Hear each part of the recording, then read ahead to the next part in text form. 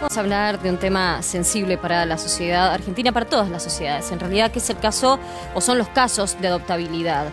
Más de 5.000 familias esperan en nuestro país para poder adoptar un niño, pero el 90% del padrón de inscriptos para adoptar tienen diferentes requisitos de los que hay en disponibilidad de alguna manera. El 90% quiere chicos menores de un año. En todo el país hay unas 5.600 familias aptas para adoptar desde el Registro Único de Aspirantes a Guarda con fines adoptivos. Aclaran quiénes pueden ser adoptantes.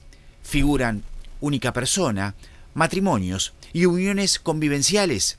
Respecto de la disponibilidad en relación a la edad, el 90,9% quiere niños de hasta un año, el 34% aceptaría hasta seis años, el 13% de hasta 8 años y el 0,8% de hasta 12 años.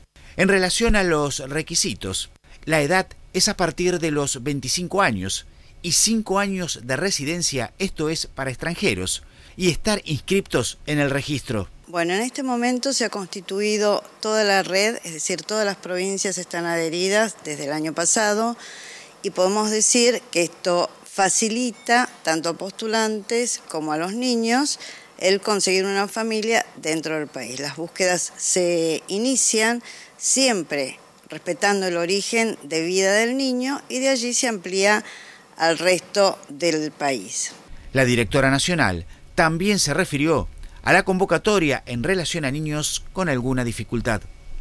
Van a iniciar primero una etapa que llamamos vinculación, que es de conocimiento. Hay que ver si esa familia tiene los medios no afectivos, sino eh, por ahí si, fuera una discapacidad motriz, si tiene su casa que puede estar adecuada y si no facilitarle para que la adecue. Y eh, luego que, que se inicie esta primera etapa de vinculación, se les va a otorgar la guarda, que siempre son seis meses y en favor del niño.